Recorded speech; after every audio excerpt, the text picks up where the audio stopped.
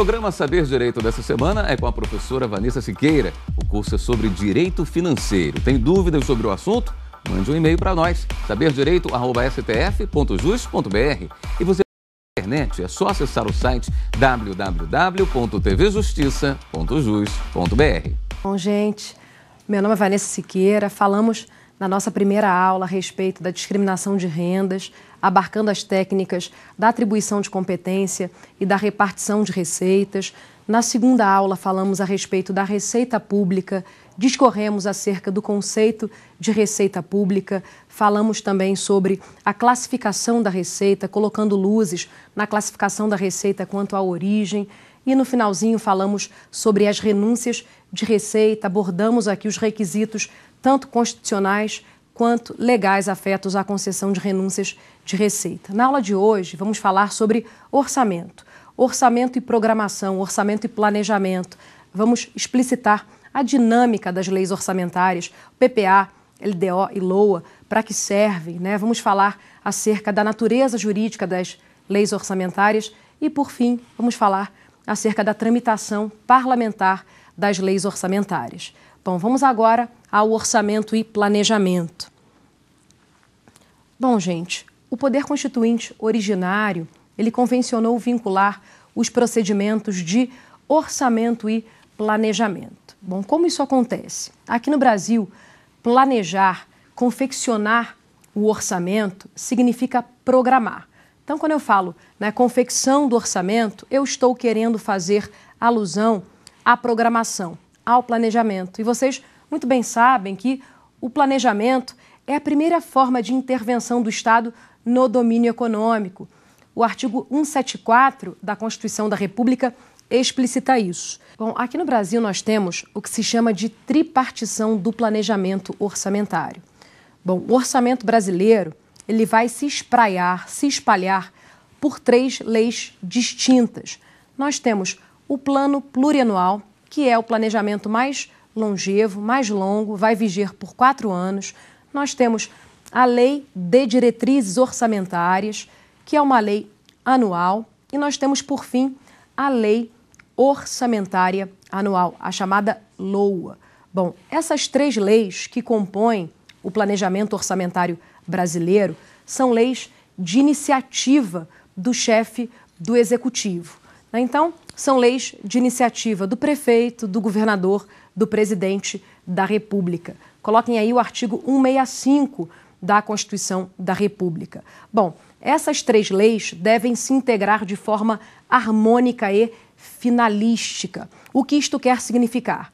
Que o PPA deve nortear as confecções tanto da LDO quanto da LOA. Então, a LOA deve consonar com a LDO e a LDO, por sua vez, deve é, consonar, deve se adequar àqueles lindes estabelecidos pelo plano plurianual, que é o nosso planejamento mais longevo. Bom, essas leis orçamentárias, elas se revestem de algumas características. Eu acabei de dizer. Bom, aqui nós temos leis de iniciativa do chefe do executivo. Eu diria que aqui nós temos uma iniciativa vinculada. Por que uma iniciativa vinculada? Porque o chefe do executivo, muito embora tenha que confeccionar esses projetos de leis orçamentárias, ele deve é, enviar tais projetos dentro de um determinado prazo para o Poder Legislativo. Então, o prefeito tem que encaminhar dentro de determinado prazo para a Câmara, o governador para a Assembleia Legislativa e o presidente para o Congresso Nacional. Então, vejam, aqui nós temos três leis orçamentárias que compõem o planejamento orçamentário brasileiro e essas três leis são leis de iniciativa do chefe do executivo. Eu disse que o PPA é o nosso planejamento mais longo. O PPA ele vai viger por quatro anos. LDO e LOA ambas vigem por um ano. Isto quer significar que as leis orçamentárias são leis temporárias. Bom, essas três leis orçamentárias, como eu disse há pouco, elas são de vigência temporária. PPA, vocacionado a viger por quatro anos, LDO, um ano, a LOA, também um ano. Bom, o PPA vem consubstanciado, tem seu conteúdo consubstanciado no parágrafo 1 do artigo 165, a LDO no parágrafo 2 também do artigo 165 e a LOA, por fim, no parágrafo 5 do artigo 165. Bom, o que eu disse? Eu disse que essas três leis são de iniciativa do Executivo, são três leis que devem se integrar de forma harmônica e finalística. Elas compõem o planejamento orçamentário brasileiro e percebam, essas três leis ostentam natureza jurídica de leis formais. Depois vamos esmiuçar aqui esse tema, mas por hora quero que vocês concebam as leis orçamentárias como leis formais, porque as leis orçamentárias não engendram, não geram direitos subjetivos para terceiros. Então, só sob o prisma formal se revestem das características de leis. Bom, falando um pouquinho acerca da dinâmica dessas três leis orçamentárias. Bom, o chefe do executivo tem que encaminhar o projeto de PPA já no primeiro exercício financeiro né, do seu mandato. Ele vai encaminhar o projeto de PPA quatro meses antes do fim do primeiro exercício financeiro. Isto quer significar né, que o presidente, o governador, o prefeito devem encaminhar o projeto de PPA sempre em agosto do primeiro ano de mandato. E é óbvio que, por conta disso, o PPA não haverá de coincidir com o mandato do governante. O PPA vai do segundo ano de mandato do governante até o primeiro ano de mandato do governante vindouro. Com relação ao projeto de LDO. Bom, o projeto de LDO deve ser encaminhado todos os anos, encaminhado todos os anos em meados de abril. Então, o chefe do executivo anualmente vai confeccionar o projeto de LDO e encaminhá-lo em meados de abril para o Poder Legislativo. E, por fim, o projeto de lei orçamentária anual deve ser também todos os anos, por óbvio, encaminhado ao Poder Legislativo em agosto. Então, o que nós temos aqui? Qual a nossa equação? É, projeto de PPA, sempre no primeiro ano de mandato, em agosto. Projetos de LDO e LOA, todos os anos né, serão confeccionados pelo chefe do Executivo. O projeto de LDO encaminhado para o Poder Legislativo em meados de abril e o projeto de LOA encaminhado para o Poder Legislativo em agosto. Bom, agora falando a respeito das características que revestem cada uma dessas leis orçamentárias que compõem a tríade orçamentária brasileira. Falando do PPA, eu disse que o PPA não coincide com o mandato do governante. O PPA ele vai do segundo ano de mandato do governante até o primeiro ano de mandato do governante vindouro. Então aqui nós temos um planejamento de longo prazo. Vejam vocês que esse artigo 165, parágrafo 1 onde está consubstanciado o conteúdo do PPA, ele deve ser combinado com o artigo 167, também parágrafo 1 Por quê? Porque nenhum investimento que dure mais do que um exercício financeiro pode ser tirado do papel sem que esteja previsto no PPA, sem que tenha guarida no PPA. Então, eu disse que aqui nós temos, em verdade, um planejamento conjuntural de longo prazo, vai viger por quatro anos, né, com vistas à promoção do desenvolvimento econômico, com vistas à promoção da estabilidade econômica e também do equilíbrio entre as diversas regiões do país. Agora, vejam que interessante. A confecção do PPA, gente, ela começa a ser levada a efeito já na época de campanha. Por quê? Porque nós, da população, nós não votamos em candidatos propriamente. Nós votamos em programações. Então vamos eleger aquela programação mais condizente com os nossos anseios. Tá? Então é por isso é, é, é, por isso que é muito importante que é, o partido político respectivo né, e o candidato, por conseguinte, é, apresentem no TRE, né, a programação de governo, no, T, no TSE também, a programação de governo que vai nortear né, as suas ações ao longo dos quatro anos. E vejam, a população, em verdade, ela vai eleger essa programação. E a programação sufragada nas urnas, a programação eleita, ela deve ser erigida a PPA. Por que deve ser erigida a PPA? Porque percebam, se um candidato se elege com base numa determinada programação política e essa programação política passa a não nortear as suas ações no governo, nós temos aqui, no sentido conotativo, óbvio, no sentido figurado, o que se chama de estelionato eleitoral. Então percebam que a população nas urnas vai sufragar aquela programação que for mais condizente com seus anseios, com seus desígnios. E o candidato que for eleito com lastro, com base naquela programação, deve erigi-la à PPA. Bom, aí falando agora da dinâmica das leis orçamentárias. Eu disse que o planejamento mais longo, mais longevo, é o plano plurianual, que vai consubstanciar aquele planejamento, né, aquelas metas eleitas né, pela população, aquelas metas sufragadas nas urnas pela população. Mas qual seria propriamente o papel da LDO, da Lei Orçamentária Anual? Bom, o que nós temos aqui são metas, diretrizes, né, ações que deverão ser materializadas ao longo de quatro anos. Tudo isto está embutido, consubstanciado no plano plurianual. Bom, e o que vai ser das outras leis? Bom, a função da LDO, que é uma lei que fica ali no meio, é uma lei intermediária, é a de pensar anualmente do PPA algumas prioridades. Então, ela vai resumir o que daquela programação se revela prioritário. Bom, quando a LDO faz isso, quando a Lei de Diretrizes Orçamentárias faz isso, a LDO já está orientando o próprio chefe do Executivo na confecção da Lei Orçamentária Anual.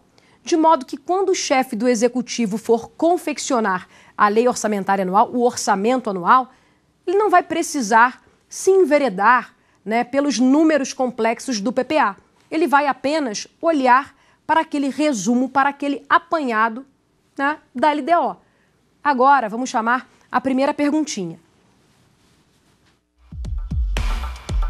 À luz da Constituição da República, é correto afirmarmos que existem três orçamentos?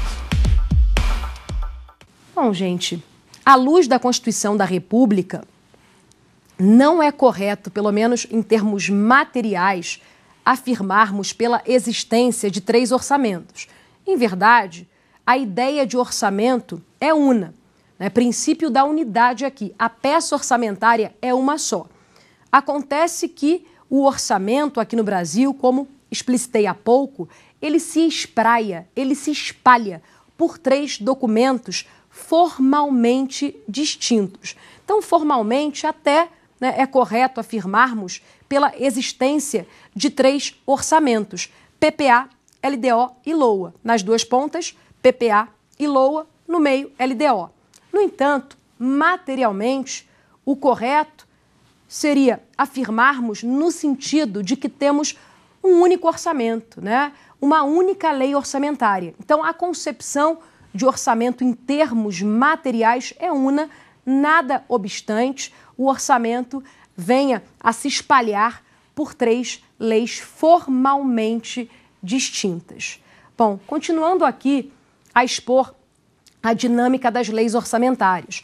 Eu disse que o PPA vai aglutinar aquelas escolhas sufragadas nas urnas. Então, nós temos um planejamento de longo prazo que deverá sair do papel ao longo de quatro anos. Bom, como funciona né, essa dinâmica sistêmica das leis orçamentárias, porque nós temos o PPA numa ponta, a LOA noutra ponta e a LDO no meio. E eu disse ainda no início que essas leis devem se integrar de forma harmônica e finalística. Isto quer dizer que a LDO deve se ater aos lindes do PPA e, por sua vez, a LOA deve consonar com a LDO. São três leis que vinculam os poderes. Tá? Então, Percebam, aqui o que nós temos. A LDO, todos os anos, ela vai procurar pensar do planejamento conjuntural de longo prazo, do PPA, algumas prioridades, né? Porque vejam vocês, vejam vocês, nós temos ali aglutinadas no PPA metas, diretrizes, ações que deverão sair do papel ao longo de quatro anos. Mas a pergunta que eu faço é a seguinte: quais dessas metas né, ganharão a rua? Né? Quais dessas metas serão, em primeiro lugar, materializadas? Quem vai dizer isso? A própria Lei de Diretrizes Orçamentárias. Então, a função é, da LDO, a função política da LDO é a de pensar anualmente prioridades do PPA. Então, a LDO resume algumas prioridades e que, por conta disto, né, por serem prioridades, merecerão ser executadas já no ano seguinte. A LDO faz essa seleção, verifica o que deve sair do papel daquele planejamento extenso, o que deve sair do papel com primazia, em primeiro lugar. Aí vejam, a LDO aglutina essas prioridades e, ao aglutinar prioridades, a própria LDO está orientando o chefe do executivo na confecção do projeto de lei orçamentária anual. E vejam, qual é a função da lei orçamentária anual? A função da lei orçamentária anual é a de concretizar, é a de materializar anualmente aquele planejamento de longo prazo consubstanciado no plano plurianual. O que eu quero dizer, atentem a isso, o que eu quero dizer é que o PPA, ele só sai do papel, ele só ganha vida por intermédio da lei orçamentária anual. O PPA só tem eficácia com relação à realização das despesas por intermédio da lei orçamentária anual. Então, essa leizinha, a lei orçamentária anual, cujo conteúdo vem explicitado no parágrafo 5 do artigo 165, essa leizinha vai se incumbir de ano a ano executar um quarto daquele planejamento conjuntural de longo prazo consubstanciado no PPA. Bom, essa é a dinâmica sistêmica das leis orçamentárias. Só rebatendo aqui, essas três leis orçamentárias, elas compõem um único orçamento, o princípio da unidade, são leis de iniciativa sempre do chefe do executivo, são leis que vinculam os poderes e que devem ser é, temporárias. A vigência do PPA é de quatro anos, da LDO e da LOA de um ano. Essas três leis devem se integrar de forma harmônica e finalística. E sempre assim, né? O PPA embutindo aquela escolha da população sufragada nas urnas, todos os anos a LDO pensando do PPA prioridades. Ao pensar prioridades, a própria LDO já está orientando o chefe do executivo na confecção da lei orçamentária anual e com relação à lei orçamentária anual, nós temos né, uma lei que materializa ano a ano um quarto daquele planejamento conjuntural de longo prazo consubstanciado no PPA. Vejam que aquilo que está consubstanciado no PPA não sai do papel de uma hora para outra. Então, ao longo dos quatro anos, né, aos poucos, aquele planejamento eleito nas urnas pela população vai se materializando. E ele vai se materializando por intermédio da lei orçamentária anual, que, por sua vez, né, tem o auxílio da lei de diretrizes orçamentárias. As diretrizes orçamentárias, elas ficam no meio porque fazem o link sempre entre a ligação, né, sempre entre o PPA, que é o planejamento conjuntural de longo prazo, e a LOA, que é a lei orçamentária anual. Bom, falando agora um pouquinho a respeito da natureza jurídica das leis orçamentárias. Bom, eu disse há minutos atrás que as leis orçamentárias são leis formais. Então, ostentam natureza jurídica de leis formais. Por quê? Porque só sob o prisma, só sob o espectro formal se revestem das características de leis materialmente não poderão ser concebidas propriamente como leis, porque não geram direitos subjetivos para terceiros. Né? Formalmente são leis porque emanadas né, do poder competente para legislar, que é o poder legislativo. Mas vejam, o que se espraia pela doutrina? Qual a informação que temos? Né? Natureza jurídica da lei orçamentária. Nós temos aqui, sob o prisma formal, uma lei. Sob o prisma material, um ato-condição. Por que ato-condição?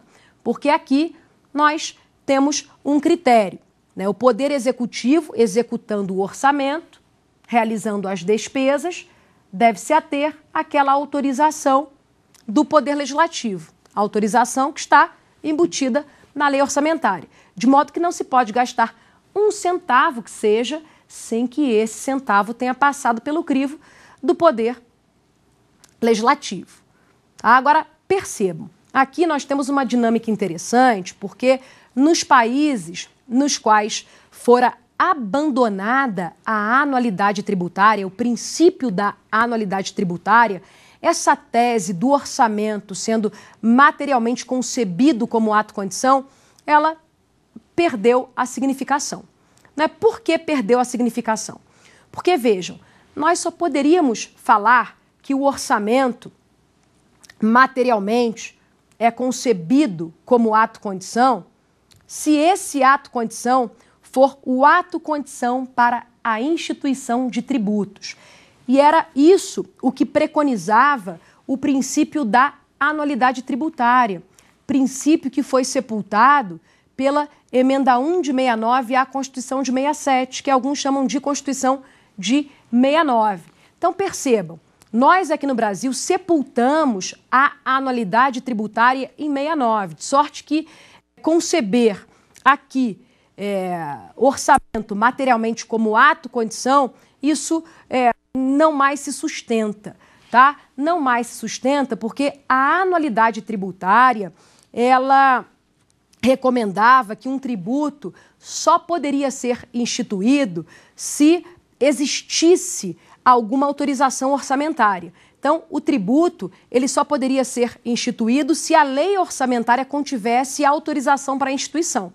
Hoje em dia, isso não mais se afigura necessário, porque, como eu disse, né, sepultamos a anualidade tributária em 69. E a Constituição de 88 manteve né, de fora a anualidade tributária. Nós temos a anualidade orçamentária, que é outra coisa. Depois vamos expor né, as diferenças entre anualidade tributária e orçamentária. Mas percebam, como aqui nós sepultamos a anualidade orçamentária, falar em orçamento materialmente como ato-condição, isso perdeu né, o completo significado, porque esse ato-condição a que faz alusão à classificação tradicional é o orçamento encarado como ato-condição para a instituição de tributo.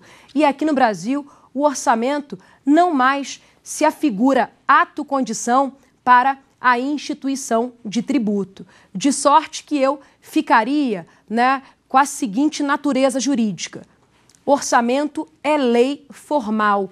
Só sob o prisma formal, só sob o espectro formal, o orçamento se reveste das características de lei. Materialmente, o orçamento não pode ser concebido como lei, porque o orçamento não engendra, não gera direitos subjetivos para terceiros. De outra parte, o orçamento também aqui materialmente não pode ser encarado como ato condição, porquanto aqui no Brasil foi abandonada a anualidade tributária. Bom, gente, vamos é, a mais uma perguntinha e logo depois seguimos com a matéria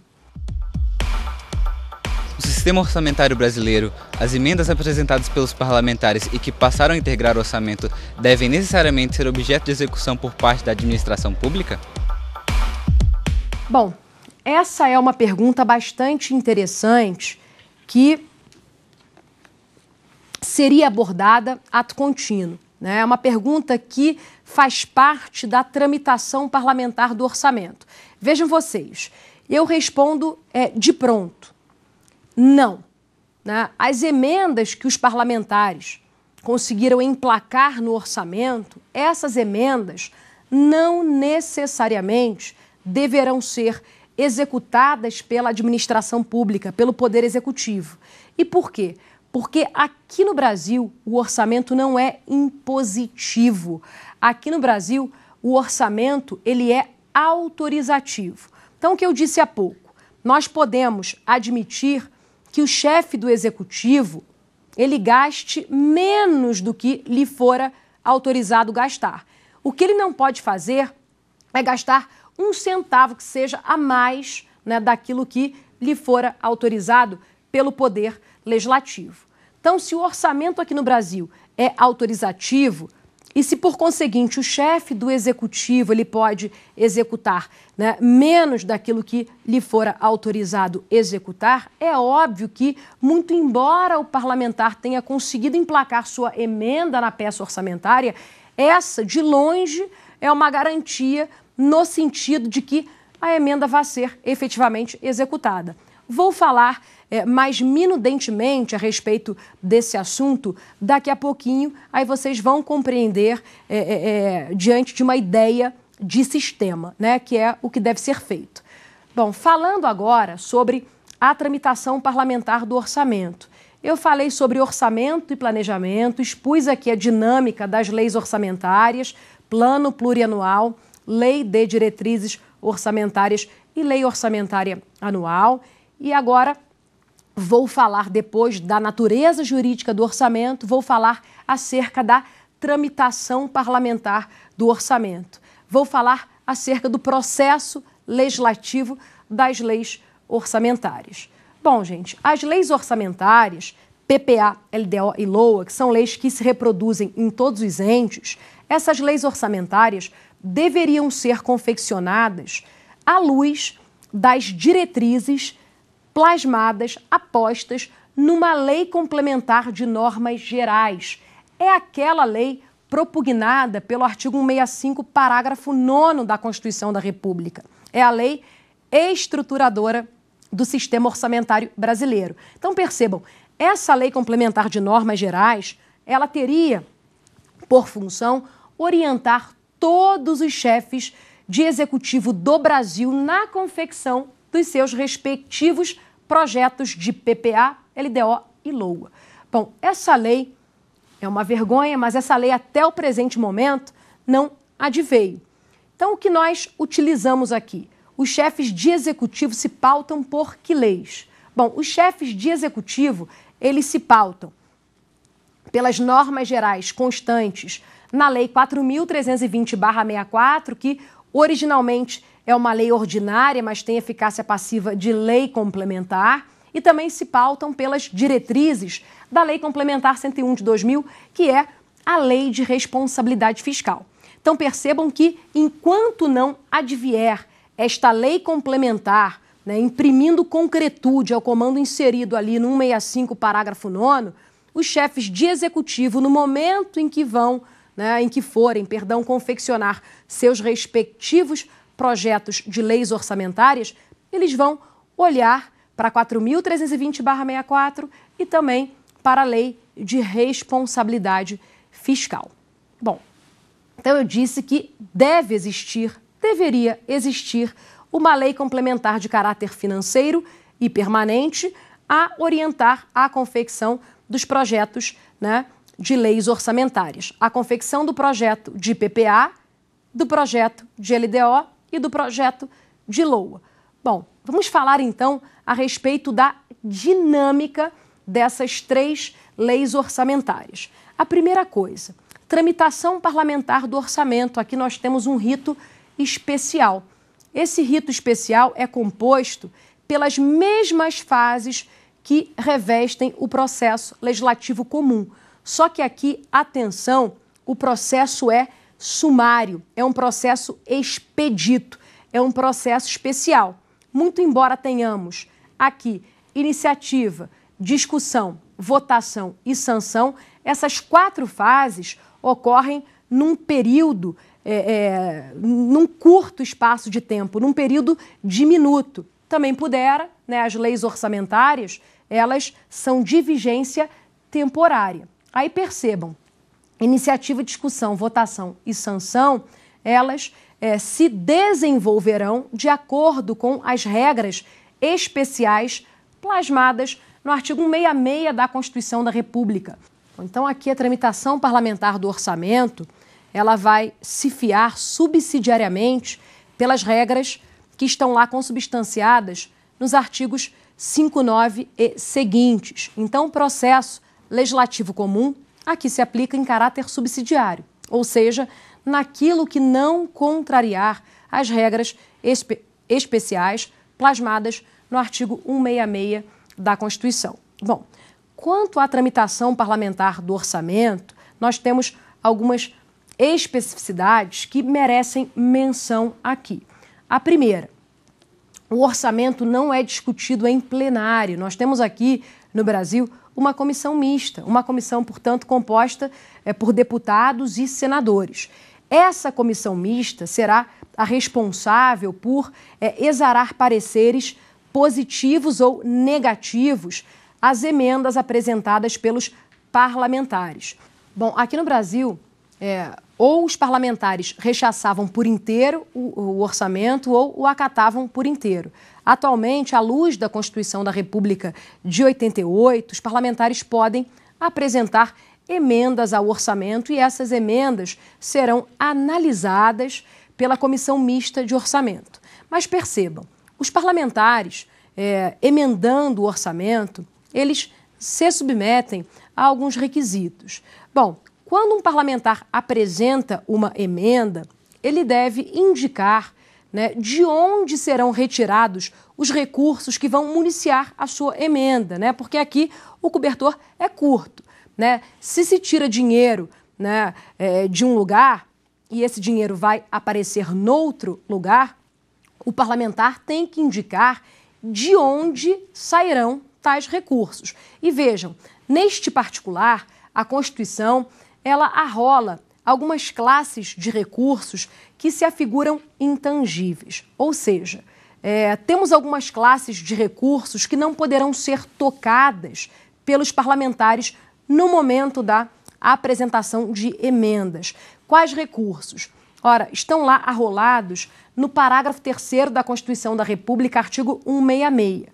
Então, o parlamentar, no momento em que for apresentar a sua respectiva emenda, ele não pode né, considerar as transferências constitucionais, a nossa é, repartição né, obrigatória de receitas, a nossa repartição de receitas, ele não pode tocar naqueles recursos. Que mais? Parlamentar não pode tocar nos recursos afetos ao pagamento de pessoal. Então, nós temos aqui é, é, dinheiro que é intangível, que não pode ser tocado. E, em terceiro lugar, o parlamentar não poderá é, tocar naquele dinheiro destinado ao pagamento do serviço da dívida pública.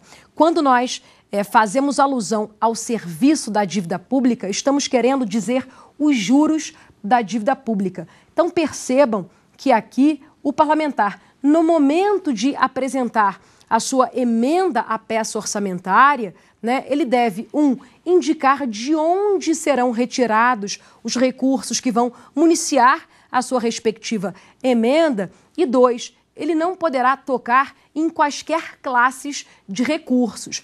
Há três classes, nos moldes tais como preconiza o artigo 166, parágrafo 3 da Constituição, há três classes intangíveis. Então, o parlamentar, quando for apresentar sua emenda, não pode tocar no dinheiro destinado às transferências constitucionais, que é né, a nossa repartição de receitas. O parlamentar não pode tocar no dinheiro destinado ao pagamento de pessoal, tampouco pode tocar naquele dinheiro é, dirigido ao pagamento dos juros da dívida pública, o serviço da dívida pública. Bom, e o que eu gostaria de falar ainda sobre as emendas é o seguinte: aqui no Brasil, como eu disse há pouco, o orçamento ele é autorizativo. O que isto quer significar? Ora, o chefe do Poder Executivo ele não pode né, gastar um centavo sem que esse centavo tenha passado pelo crivo do Poder Legislativo. Agora, em sendo o orçamento autorizativo, o chefe do executivo, ele pode sim gastar menos do que lhe fora autorizado gastar. Tá? Aqui no Brasil, nós não temos um orçamento impositivo. O orçamento impositivo nos remete à seguinte ideia: o chefe do executivo está completamente adstrito, vinculado àquilo que está no orçamento. Ele deve executar o orçamento tal como autorizado pelo Poder Legislativo. Ora, essa é a forma extremada de orçamento impositivo. Eu devo dizer a vocês que já existe tramitando há muitos anos no Congresso uma proposta de emenda constitucional tendente a transformar o orçamento em instrumento impositivo. Mas isto não quer significar né, que o chefe do Poder Executivo vá ter que executar o orçamento nos moldes tais como autorizados né, pelo Poder Legislativo. Né? Por quê? Porque aqui nós temos uma proposta intermediária. Né? Se o chefe é, do Executivo achar por bem, em virtude de alguma contingência é, de ordem social ou econômica, não executar o orçamento naqueles moldes, ele pode pedir a autorização do Poder Legislativo. Então, aqui no Brasil, a nossa proposta de emenda, que vai transformar o orçamento em instrumento impositivo, não é aquela radical. É a proposta intermediária, né? é o orçamento impositivo que vige nos Estados Unidos. Bom, e aqui no Brasil, qual é a consequência de o orçamento ser autorizativo? Bom, a consequência primeira é a seguinte: as emendas que os parlamentares conseguiram emplacar no orçamento, aquelas emendas que passam a constar no orçamento, elas não necessariamente serão executadas pela administração pública, serão executadas pelo poder executivo. Exatamente por isso, porque aqui no Brasil o poder executivo ele pode gastar menos do que lhe fora autorizado gastar. Fosse o orçamento impositivo, aí as emendas emplacadas pelos parlamentares na peça orçamentária eh, deveriam sair do papel naqueles moldes. Bom, gente, eh, vamos chamar aqui a terceira pergunta. Poderia, em tese, o chefe do Poder Executivo encaminhar para o Congresso Nacional o projeto de LOA antes da última votação da LDO? Bom, gente, como eu havia dito, a função política da LDO é a de orientar a confecção da lei orçamentária anual. Então, o chefe do executivo que confecciona os projetos das três leis, ele é orientado pela LDO no momento em que vai confeccionar, elaborar o projeto de LOA, que é o nosso orçamento. Então, vejam, é, seria é, por demais esquisito né, que, antes de ultimada a votação da LDO, o projeto de LOA fosse encaminhado para o Congresso. Isso por quê, gente? Porque a LDO ela orienta a confecção do projeto de LOA.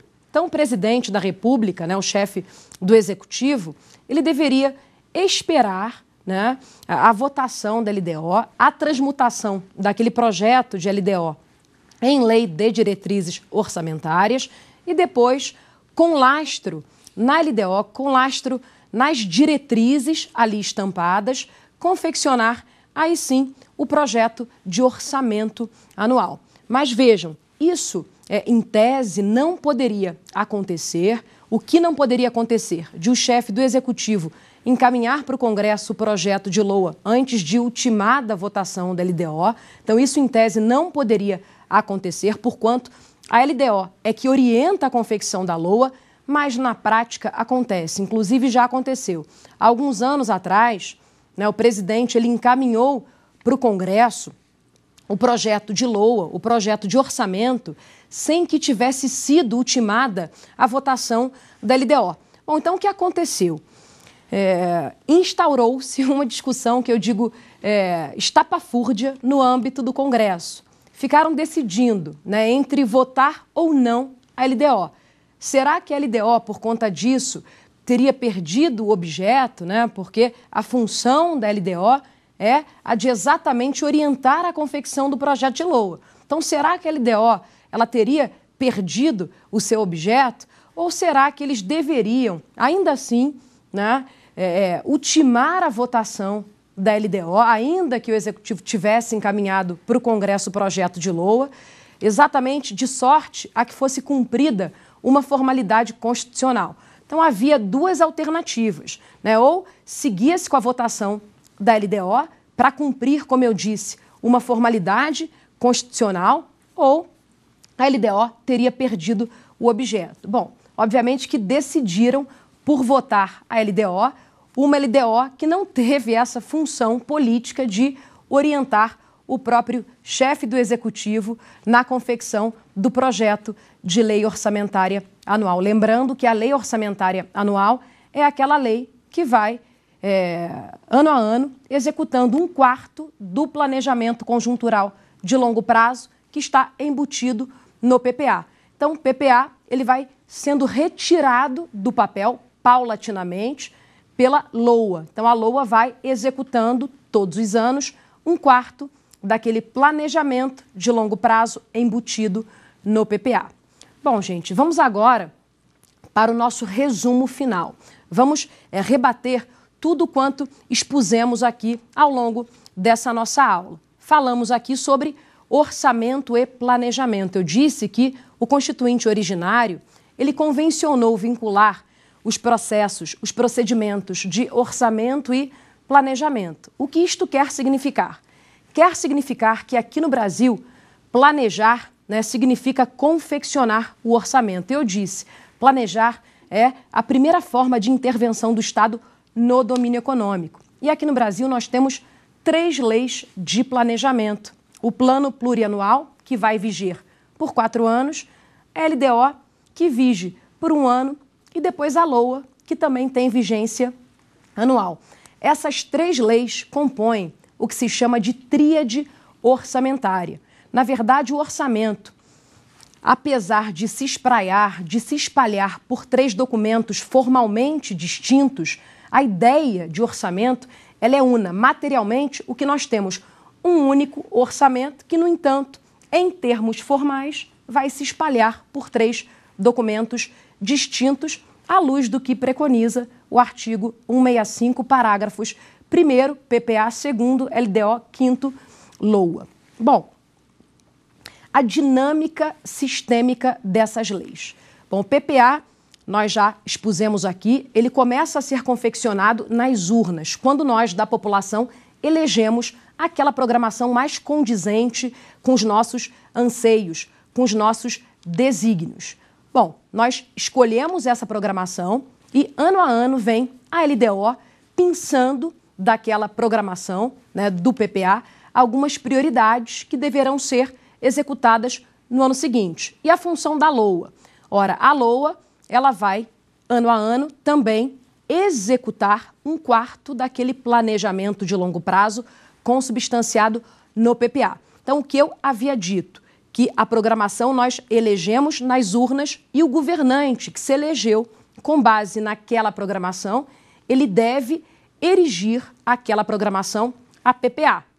Então, de ano em ano, vem a LDO pensando o que se revela prioritário para que seja executado no ano seguinte, e a LOA é a lei que efetivamente vai retirar do papel o PPA, é que vai materializar o PPA. Lembrando que essas três leis orçamentárias são de iniciativa do chefe do executivo. Nós temos aqui três leis formais que vinculam os poderes e que se devem integrar de forma harmônica e finalística. Bom, gente, esse é o nosso orçamento. Até a próxima aula. Tem dúvidas sobre o assunto? Mande um e-mail para nós, saberdireito.stf.jus.br. E você também pode estudar pela internet. É só acessar o site www.tvjustiça.jus.br.